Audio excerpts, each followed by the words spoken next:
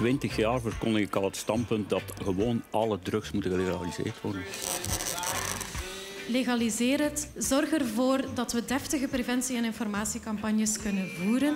Zorg ervoor dat het minder gevaarlijk wordt voor de jongeren. Er is een probleem met softdrugs. En uh, een probleem waar we het over eens zijn dat er iets moet mee gebeuren. Maar ik geloof niet dat de legalisering uh, de oplossing is. Dat is nee. waar dat we van mening verschillen.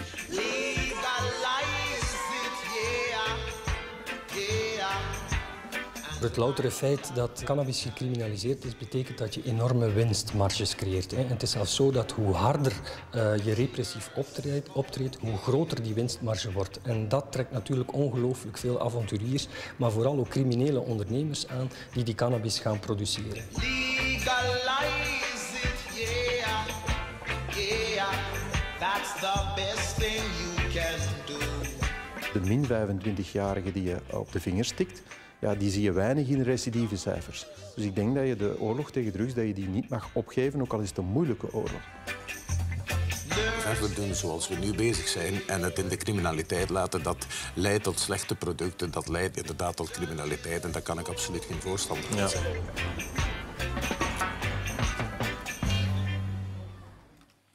Bij mij aan tafel econoom Paul de Grauwe, professor aan de London School of Economics. Bram van Brakenveld, voorzitter van Jong Groen. Louis Ide, senator voor NVA. En Marleen Finoelst, arts en hoofdacteur van Body Talk. We wilden ook graag Sanne Doms, de voorzitter van de Jong Socialisten, aan tafel. Die de legalisering van cannabis binnen haar partij op de kaart zette. Maar die zag een debat niet zitten.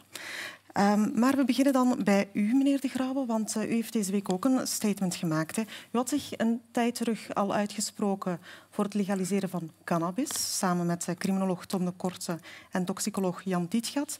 Maar u wil eigenlijk nog een stap verder gaan. Wel, mijn persoonlijke opinie is inderdaad dat je die dingen um, globaal moet bekijken en dus ook uh, die andere drugs um, op termijn zult moeten legaliseren, maar ook controleren natuurlijk. Hè. Vandaag natuurlijk zitten we in een situatie waarbij het maatschappelijk draagvlak om, om cocaïne, heroïne te gaan legaliseren heel zwak is. En daarom dat ik zeg, laten we het vandaag houden bij cannabis. Want als we alles willen legaliseren, dan gaat er absoluut niks van komen. Dus ik zou zeggen, cannabis is de grote prioriteit. De eerste stap. Wat vindt u daarvan? Wel, als het over cannabis gaat, dan volg ik wel dat er problemen zijn vandaag de dag met het huidig beleid. We zien dat het uh, gevaarlijker geworden is. Uh, de THC-waarde is gestegen. Dat is dus een element in het cannabis die uh, toch gevaarlijke stoffen met zich meebrengt. Als we kijken naar hoe dat, dealers ervoor zorgen dat van 1 kilo cannabis naar 2 kilo cannabis gegaan wordt, dan zien we dat die dat gewoon in lood dompelen. Dus de gezondheidsrisico's van dit beleid lijken mij toch wel gevaarlijk te zijn. En als we ook kijken naar bijvoorbeeld de preventiewerkers... We zien daar wat besparingen op dat vlak. Dus ik denk dat op vlak van informatie en preventiewerkers en jeugdwerkers die dichter bij de jongeren willen staan, dat daar ook heel grote uitdagingen zijn. En tenslotte um, denk ik dat het huidig beleid best een aanpassing kent, um, omdat een taboesfeer die vandaag op cannabis heerst bij de jongeren die met cannabis in contact komen en daar eigenlijk zichzelf in verliezen, doordat cannabis uh, zo uh, crimineel behandeld wordt, bij wijze van spreken, ja, vinden jongeren de drempel om uh, hulp te zoeken te hoog. En daarom zeggen we vandaag, zorg voor meer regulering. Zorg dat de overheid bij cannabis meer kan ingrijpen, zodat het gevaar eruit gaat en dat jongeren een perspectief krijgen op wetenschap. Ja, en Jong Groen is te vinden voor het legaliseren van cannabis. Is de moederpartij het daarmee eens? We hebben gisteren onze vier prioriteiten bekendgemaakt. Dat gaat over betere fiscaliteit, dat gaat over meer jobs, ook voor jongeren. Dat gaat over het wegwerken van de wachtlijst. Het is vandaag dag van de zorg, maar we werken dat er niet voor ja, iedereen dag van de zorg is. De wachtlijsten blijven groot. Zijn zonder een prioriteit te zijn. Hè? Maar ik zit hier vandaag als voorzitter van Jong Groen. Hè. Uh, wat, wat groen betreft is het belangrijk om te zeggen dat we kunnen vandaag... Allez, we gaan ook vandaag een serene debat voeren, uh, maar ik denk dat het belangrijk is dat we na de verkiezingen een, uh, een debat voeren waarbij dat alle betrokken partijen het woord krijgen. Niet zoals bij de gasboetes, waarbij minderheid uh, onderdrukt wordt door de meerderheid die iets doorduwt, maar waarbij we een debat voeren waarbij alle stemmen aan bod komen. De jongeren, uh, ja, de ouderen, de gebruikers en de wetenschappers en de mensen die jongeren omkaderen in deze functies. Ik denk dat dat belangrijk is. Ik, wil, ik heb vandaag een duidelijk standpunt, maar ik wil niet met het mes tussen mijn tanden naar de verkiezingen trekken, om, omdat ik denk dat het debat veel gevoeliger is dan zomaar te zeggen zwart of wit. Ja, het is bespreekbaar. Is het uh, dat voor u ook, meneer uh, Ide? Ik, uh, Ik begrijp de professor niet. Ik heb zijn uh, interview gelezen in de morgen. Je zegt dat ik, op, dat ik drugs neem. Ja, dat was inderdaad... Uh, ik viel van mijn stoel. Vandaar ja, dat maar ik dat je hebt dat dus toch beweerd? Dat nee, ik, ik, heb, ik stelde mij de retorische vraag of u ah. inderdaad... Ik verstond u. Ik begrijp u nog altijd niet, professor. Ah. Ik zit hier als beleidsmaker,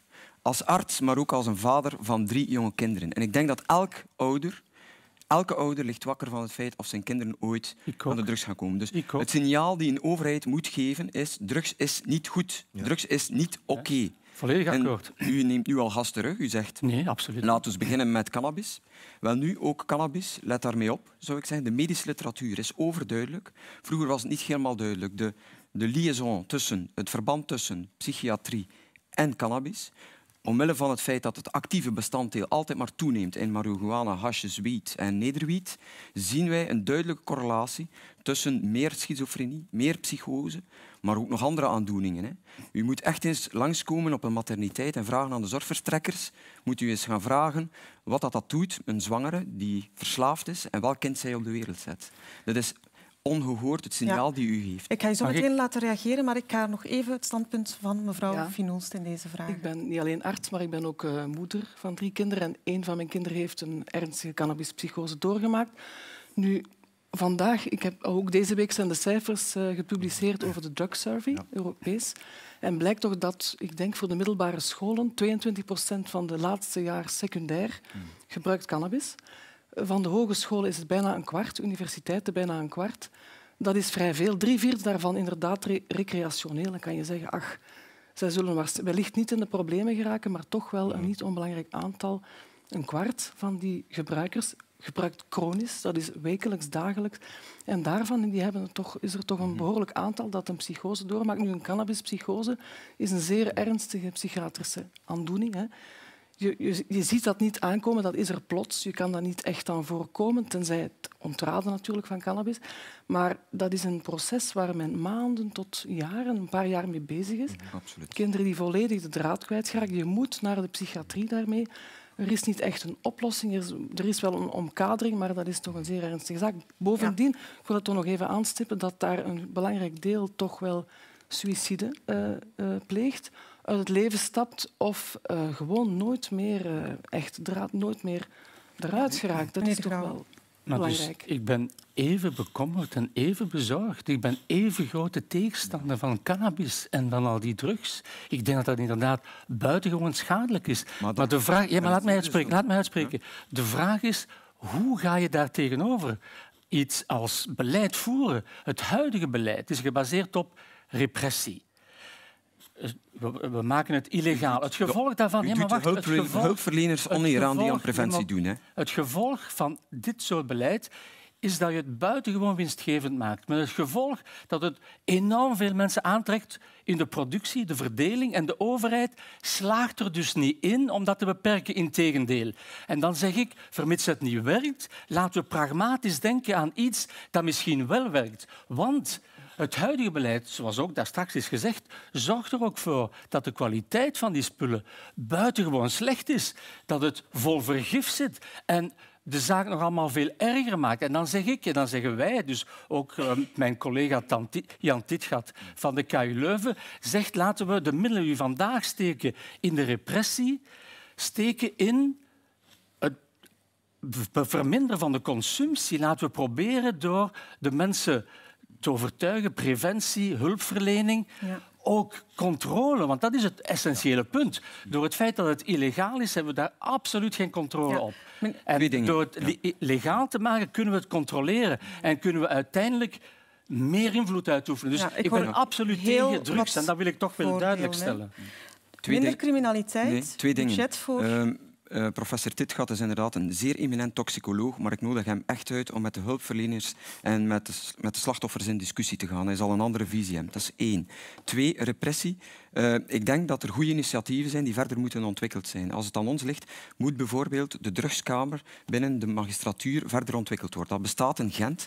En wat doet daar die gespecialiseerde magistraat? Hij kijkt niet enkel naar het drugsdelict, maar hij kijkt ook naar een behandelingstraject en hij kijkt ook naar een reïntegratie. En dat werkt niet voor iedereen helaas, want de feiten zijn dramatisch, zoals uh, collega Finoes het hier stelt. Men moet verder gaan op een bepaalde weg. Er is een bepaalde weg ook ingezet, zowel op preventie. We kunnen ook leren van buitenlandse voorbeelden. In Zweden heeft men een zeer goede preventieve actie door het informeren van ouders en kinderen op 14-jarige leeftijd. Dat werkt. Dat moeten we overnemen. Maar het signaal geven, als je drugs legaliseert, en geef je het dan geef je het signaal, nee, dan geef je het signaal dat het oké is. Nee, absoluut. Dan geef je dat sigaretten ook niet. Je kunt daarop nee, plakken. Ja. Je kunt daarop plakken. Het is heel slecht voor je gezondheid. Maar enfin, ja. Ik kom even en dat werkt. Het is een heel complex debat natuurlijk. En ik denk dat er misschien vanuit economisch oogpunt en decriminaliseren dat daar wel iets voor te zeggen valt. Hè. Maar ik ben bang dat het ontraden dat het ik vraag mij af welk effect heeft ontraden bij tieners. Misschien het tegenovergestelde effect. Men gaat dat misschien juist wel experimenteren. Ik ken heel wat preventiecampagnes in de gezondheidszorg. Er wordt ontraden om rood vlees te eten, om palmolie te gebruiken, om we moeten minder suiker eten, maar het effect daarvan is quasi nihil. Uh, we hebben nu op dit moment een, denk ik, een goede campagne lopen voor het sensibiliseren van cannabisgebruik bij jongeren. Uh, laat je niet vangen.be, iets van een mooie quiz eh, van Jo van Deurzen, door Jo van Deurzen opgestart. Echt wel goed. Maar daar moet nog een evaluatie volgen. Wat gaat men dan daardoor? Gaan jongeren dan ook echt minder gaan blowen? Dat wil ik, ik, wil die zekerheid als ouder en als arts toch wel van kijk, kunnen we jongeren echt ontraden en gaan we, gaan we ze niet het verkeerd signaal geven van och, het is toch zo echt iets zoals ja. Louis Meneer Van Braakveld, als het gelegaliseerd wordt, ik hoor hier tieners vermelden, dan wordt de drempel misschien wat lager om eraan te beginnen. Maar ik wil heel duidelijk zijn. Hè. Ik denk dat we allemaal ouder zijn. Ik ben ook sinds vier maanden papa geworden. Mijn 16-jarig neefje is ook aan het meekijken. Ik wil duidelijk zijn, cannabis heeft gevaarlijke gevolgen. De vraag is alleen, hoe gaan we ermee om? We merken dat het beleid vandaag ervoor zorgt dat cannabis gevaarlijker wordt. We merken dat we te weinig inzetten op preventie, op informatie. Laat ons daar dan werk van maken. Maar laat ons ook ervoor zorgen dat die drempel om tot die welzijnswerkers te komen verlaagd wordt. Dat het taboe rond de gebruikers uh, wegvalt. Hè? Want er zijn jongeren die inderdaad uh, in contact komen met cannabis en eigenlijk zoals vandaag de dag het beleid gevoerd wordt. Ik ben vrijdag gaan eten met mijn vrouw en ik passeerde een café en ik rook het al. Het is echt niet moeilijk om aan cannabis te geraken vandaag de dag met dit beleid. Zorg er dan voor, als dat de situatie van vandaag is, helaas, hè, maar zorg er dan voor dat u uh, als overheid uh, er kunt voor zorgen dat één, de kwaliteit in orde is, maar twee, dat je ook kan controleren wie uh, cannabis gebruikt, zodat je die personen ook kan opvolgen. Dat is heel belangrijk. Dus ik denk dat we... Um, ik begrijp natuurlijk dat mensen stellen, ah ja, maar legaliseren, dat is stimuleren. Ik wil er heel duidelijk over zijn. Ik wil absoluut niet cannabis stimuleren. Maar ik denk, nee, absoluut niet. Maar ik denk dat we als overheid moeten ingrijpen, zoals met alcohol bijvoorbeeld. Men heel duidelijk weet, uh, als men een fles wijn koopt, hoeveel percentage staat erop en dergelijke meer. Nu, um, en ik denk dat we dat als overheid die verantwoordelijkheid moeten opnemen om duidelijk te maken dat cannabis niet oké is, maar dat we moeten evalueren dat het beleid van vandaag er niet toe leidt dat mensen minder cannabis gebruiken. Integendeel. Ja, meneer Ide, zolang het in de criminaliteit blijft, zijn er slechte producten. Hè? Nee, maar, allee, Dat is het verhaal van het roken weer. Hè. Um, wat, wat, heeft het verhaal van het roken ons geleerd? Dat is, iedereen gebruikt het en nu moet de overheid dweilen met de kraan open. Hè, en zeggen en ontraden en campagnes doen. Terwijl, allez, laat ons eerlijk zijn, ook het rookverbod eindelijk wel zijn, zijn nut heeft. Hè. We zien studies nu dat het, uh, het aantal prematuren dat er een minder grote sterfte is. We zien dat. We wisten dat eigenlijk al uit internationale studies. We zien dat nu ook in Vlaanderen. Er is een studie in tijdschrift voor geneeskunde deze week verschenen. We zien in de ziekenhuizen het aantal hartinfarcten dalen. Maar het probleem is dat je dus als je ook cannabis die gerookt wordt, gaat legaliseren en dat je dan vaststelt... Ook verbod hebben? Maar, ja, de, de vergelijking maar gaat niet dat is zeer op, cynisch. Hè? Je geeft het signaal aan jongeren die vatbaar zijn en je geeft het signaal van dat het goed is. En je moet altijd het signaal geven dat het niet goed is. Absoluut dat is de bottom line. Als je als overheid... Maar we moeten pragmatisch zijn in, plaats van moraliserende. Uit, uitleggen aan, uw tieneren, aan uw tieners, de overheid verbiedt het niet, uh, maar gebruik het toch maar niet. Ja, maar we doen dat toch ook met alcohol, we doen dat toch ook met, met sigaretten. Ja. Dus we moeten afstappen van moraliserende houding. Maar dat is niet moraliserend. Ja, toch wel. Je zegt het is, Nee, dat het is een- illegaal en dan zijn, we, dan zijn we goed. Dan zijn we goed Dat is een bezig. oprechte bezorgdheid. Het, het Ja, feit is dat het vandaag niet werkt. die we allemaal delen. Het, het, het werkt vandaag gewoon niet. De consumptie neemt alsmaar toe. Je hebt het zelf gezegd daar straks. Het neemt alsmaar toe. Dus laten we daar toch eens over reflecteren. Hoe komt En het dus dat gaan we alles toelaten. Dat is de gemakkelijkheidsoplossing. En dus gaan we alles Er is een toelaten. Amerikaanse studie verschenen, een paar weken geleden, in, eh, uitgevoerd in staten waar dat cannabis gelegaliseerd is. En men heeft ge- daar vastgesteld dat het gebruik toegenomen is na, na het legaliseren. Ja. En dan vraag ik mij af, oei. Hè, Ja. Dus we, gaan, we zitten al inderdaad aan een hoog gebruik alcohol, zoals u hebt aangestipt.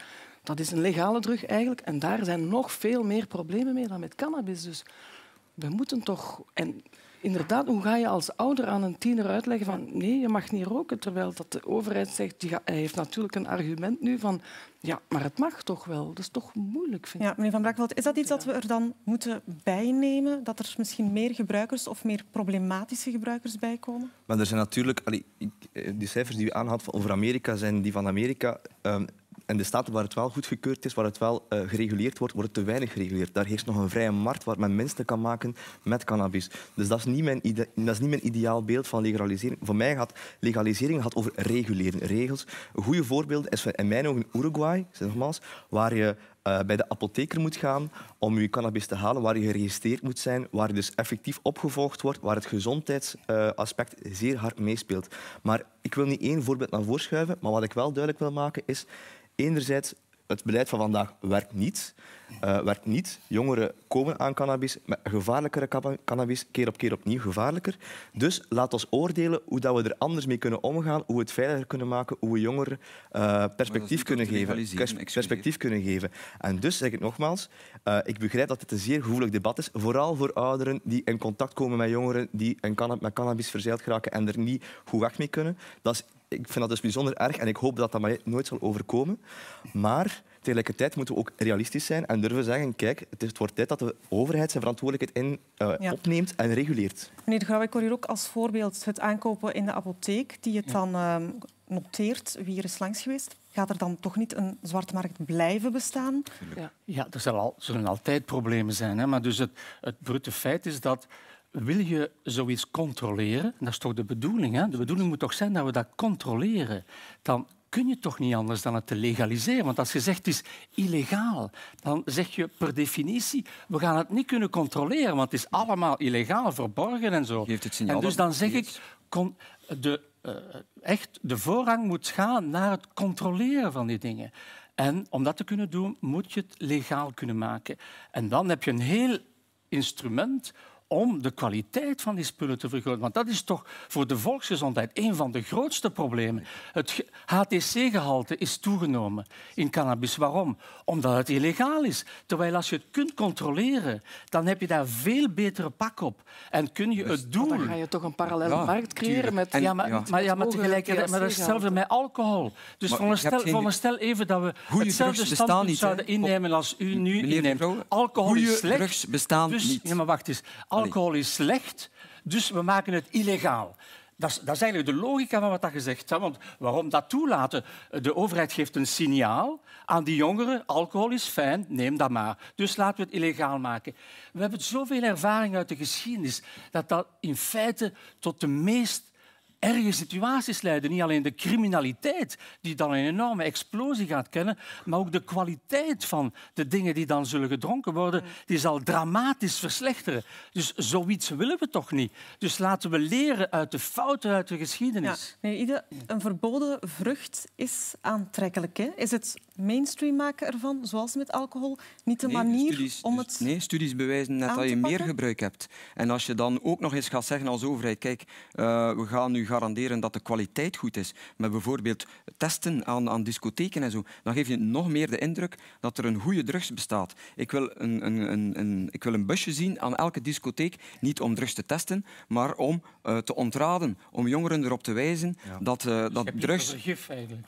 Nee, dat ze het niet gebruiken, meneer De Grauwe. Dat, dat is de essentie. Nu hebben ze en, en, en, en ik denk dat er inderdaad verder moet geïnvesteerd worden. En in buitenlandse voorbeelden uh, geven goede concepten om daaraan tegemoet te komen om het terug te dringen. En om jongeren er stevast op te wijzen dat het slecht is. En het grote drama van meneer De Grauw is, hij heeft een voorbeeldfunctie als professor.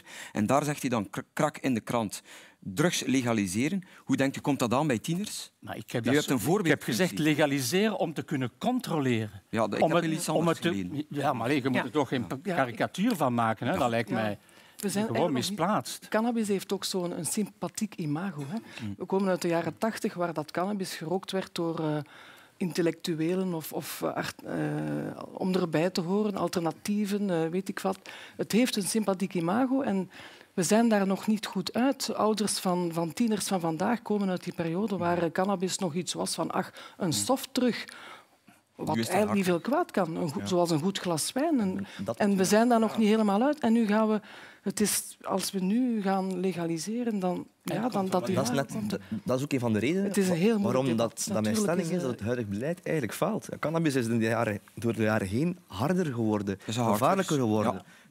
En dan is de vraag, als ik met preventiewerkers spreek, dan zeggen zij mij ook van ja, uh, die jongeren doen het wel. En als je een busje zet voor de discotheek om nog harder in te grijpen dan vandaag, wat ga je dan hebben? Jongeren die niet meer in de discotheek gebruiken, maar er buiten. Preventie, hè? dat is niet hard. Hè? Preventie, ik ontraden. Hè? Ja, ik ben, maar, ja, ik ben daarmee akkoord. Ik, heb het, nog, ik zeg het, het is wel zo dat het huidige beleid nog niet voldoende werkt. Hè? Het gebruik en ik heb een aantal... Wat is dan uw alternatief? Ik heb een aantal recepten wel... Allez, ik heb dat al jaren geleden uh, proberen diets te maken. Bijvoorbeeld het, het Zweeds cahiers uh, die gekend is, dat elke 14-jarige krijgt. Dat werkt, dat is ook bewezen.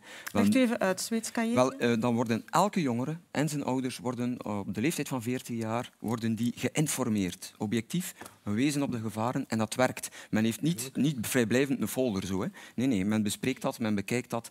En jongeren zijn een, krijgen een bewustzijn van de gevaren van drugs. En je ziet dat het gebruik daalt. Dat werkt. en er zijn genoeg... Daarvoor. Tuurlijk. Absoluut. Dat is, een, is een deel van. Ik wil heel duidelijk maken, er is niemand die rond de tafel hier vandaag zegt dat cannabis oké is. Er is niemand die dat vandaag zegt. De vraag is alleen, hoe gaan we het aanpassen? En nogmaals, dat is mijn gevoel. ja, oké. Maar het, Degene, de situaties die we vandaag kennen, zijn er ondanks de criminalisering. Laten we dan een keer kijken hoe dat we de situatie kunnen verbeteren. In Nederland, waar, waar men al jaren experimenteert met uh, met, uh, met uh, experimenten om, om cannabis iets meer te gedogen, zie je... dat mislukt, je, dat beleid? Zie je, zie je dat daar het, het gebruik van, van, van drugs minder is dan in de omliggende randen.